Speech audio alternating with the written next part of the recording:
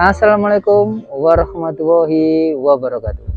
Selamat datang lagi di channel YouTube saya, Iwan Sandi Partners. Oke ya, uh, hari ini saya berada di uh, Pandaan, salah satu kafe, namanya Books Cafe. Nah, ini tadi saya habis dari sidang di Pengadilan Agama Malang ya setelah itu uh, pulangnya melipir ngopi ke sini sambil sarapan dulu.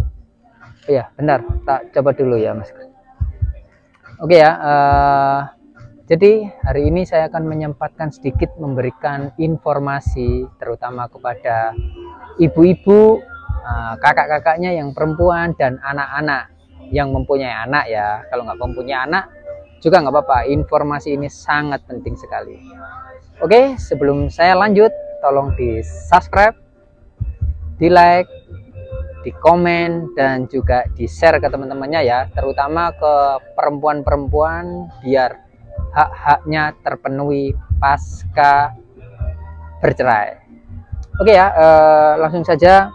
Jadi gini, tema kita hari ini adalah hak yang diperoleh oleh istri pasca bercerai istri dan anak pasca bercerai ya. Jadi ini setiap ke para laki, terutama laki-laki ya, kalau mengajukan gugatan perceraian itu kan namanya cerai talak ya. Nah, ketika dia mengajukan gugatan cerai itu yang dinamakan cerai talak, maka secara otomatis hak terhadap istri dan anak itu harus terpenuhi. Oke, harus kita garis bawahi di sini ya, harus terpenuhi. Nah, apa aja Pak hak dan istri, hak istri dan anak yang harus dipenuhi oleh suami? Oke, saya jawab dulu. Yang pertama, nafkah madya. Nah, apa itu Pak nafkah madya? Nafkah madya itu adalah nafkah masa lampau. Kalau tidak tahu nafkah masa lampau, uh, seumpama gini, pernikahan suami dan istri sudah menikah selama dua tahun. Satu tahun pertama dinafkahi, satu tahun berikutnya istri tidak pernah dinafkahi. Jadi istri harus bekerja keras sendiri banting tulang sendiri untuk mencari nafkah buat dirinya sendiri maupun anaknya. Suami tidak mau e, memberikan nafkah. Nah itu namanya nafkah masa lampau. Nafkah masa lampau itu suami yang tidak memberi nafkah ke istrinya ketika berumah tangga. Nah itu nafkah masa lampau. Kalau seperti itu bisa dituntut pak. Bisa bisa kita minta di pengadilan nanti. Lah itu tadi namanya nafkah madya. Nah, nanti itu seumpama ya selama satu tahun belum dinafkahi pak. Nanti kita minta ke hakimnya yang mulia saya selama satu tahun ini belum pernah dinafkahi oleh suami saya. Jadi saya menuntut nafkah madya selama satu tahun. Nah, berapa besaran nafkah madya yang harus dituntutkan atau harus dibayarkan suami ke istri? Itu tergantung dari kekuatan suami untuk membayar dan itu pun juga tergantung dari hakimnya. E, istilahnya itu meng atau enggak? Memberikan bilang iya atau enggak? Nah besaran nominalnya berapa? Nah, itu tidak terhingga dan tidak ada minimal atau maksimalnya. Karena apa? Karena tergantung kekuatan suami. Kalau suaminya pegawai negeri mungkin lebih banyak dapatnya kalau suaminya itu seumpama pekerja ya pekerja kasaran buruh ya tidak mungkin lah kita bisa minta sebanyak mungkin. Tapi kalau suaminya itu artis suaminya itu pengusaha batu bara atau dan lain sebagainya lah itu bisa meminta dengan nominal yang besar sesuai dengan kemampuannya. Itu yang pertama nafkah madya atau nafkah masa lampau. Selain itu ada lagi ini khusus ditujukan kepada istri ya adalah yang kedua nafkah masa idah nah jangan lupa masa idah ini harus dipenuhi oleh seorang suami kalau mengajukan gugatan perceraian. Masa idah ini berapa lama pak? Selama tiga bulan. Nah, tiga bulan ke depan ya. Jadi seumpama bulan ini mengajukan gugatan sampai tiga bulan ke depan itu istri wajib mendapatkan nafkah idah jadi nafkah idah seumpama.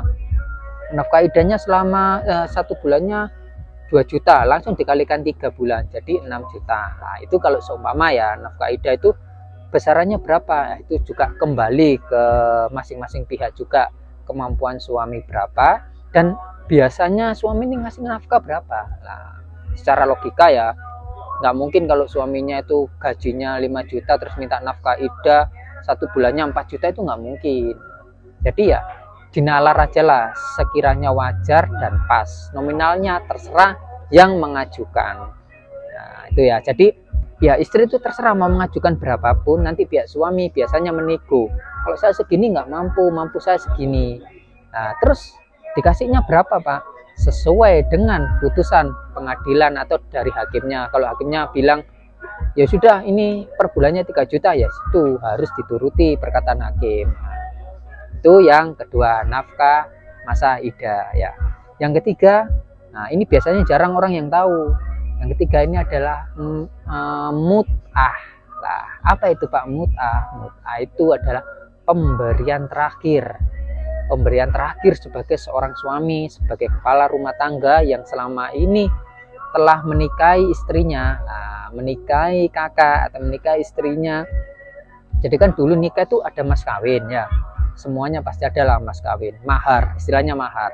Nah, setelah bercerai pun suami wajib memberikan mahar itu tadi, memberikan pemberian terakhir, kenang-kenangan. Nah, istilahnya itu. Itu namanya mut'ah, kenang-kenangan atau pemberian terakhir. Berupa apa, Pak? Pemberian terakhir kenang-kenangan itu itu juga bebas. Bisa berupa rumah.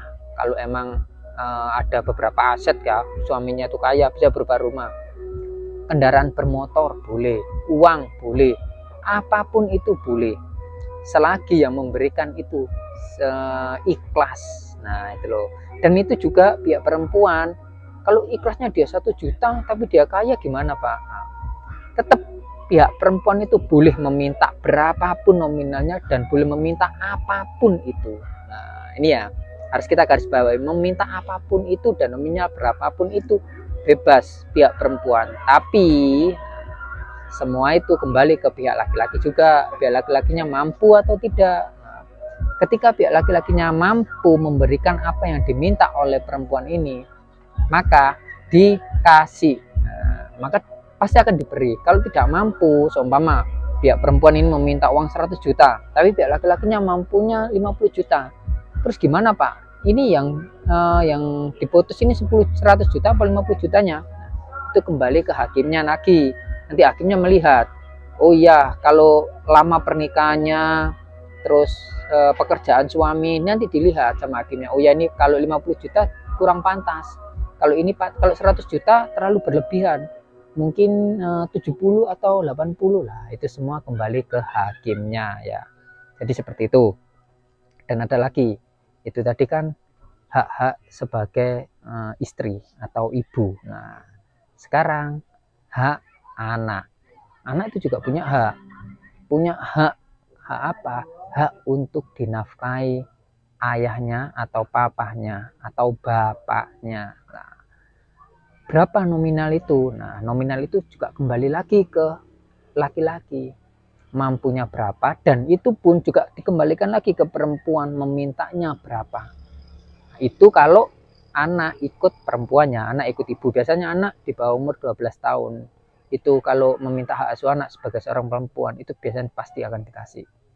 Nah, ketika dapat hak asuh anak, maka seorang suami ini wajib memberikan nafkah kepada anaknya. Nah, bukan kepada ibunya ya, ibunya kan sudah tadi masa ida itu tadi cuma tiga bulan. Tapi ini wajib memberikan nafkah kepada anaknya. Sampai kapan, Pak? Sampai anaknya ini dirasa sudah besar, sudah cukup umurnya atau anaknya ini sudah menikah atau kadang anak kalau sudah kerja sudah tidak akan meminta lagi. Nah, itu semua tergantung anaknya juga ya. Nominalnya berapa? Ya terserah nominalnya. Terserah dari anaknya ini meminta berapa. Nah, seperti itu. Jadi anaknya nanti meminta berapa? Biasanya itu ibunya yang mewakili itu ibunya. Jadi anaknya nanti uh, seumpama satu bulan cukuplah 2 juta. Nah, itu akan diberikan terus kontinu biasanya seperti itu ada kenaikan per tahun berapa persen. Biasanya seperti itu kalau saya yang membuat suatu gugatan. Oke, cukup itu tadi ya. Eh, empat hak yang diperoleh istri pasca bercerai. Oke, yang pertama nafkah madya, masa idah, mut'ah, dan nafkah buat anak apabila mempunyai seorang anak. Oke ya, untuk kakak-kakaknya semua, teman-teman semua, kalau pengen request membuat konten apalagi langsung saja ya. Di komen di YouTube saya ini ataupun di Instagram saya juga boleh di TikTok boleh juga nanti saya cantumkan di deskripsi ya. Nama Instagram saya dan TikTok saya oke ya eh, sebelum saya akhiri tolong di subscribe di like di komen dan juga di share ke teman-temannya yang membutuhkannya membutuhkan informasi ini. Biar kita semua itu tahu seperti apa uh, pasca bercerai seorang perempuan pasca bercerai mendapatkan hak apa saja itu biar tahu ya. Oke uh, saya akhiri. Wassalamualaikum warahmatullahi wabarakatuh selamat siang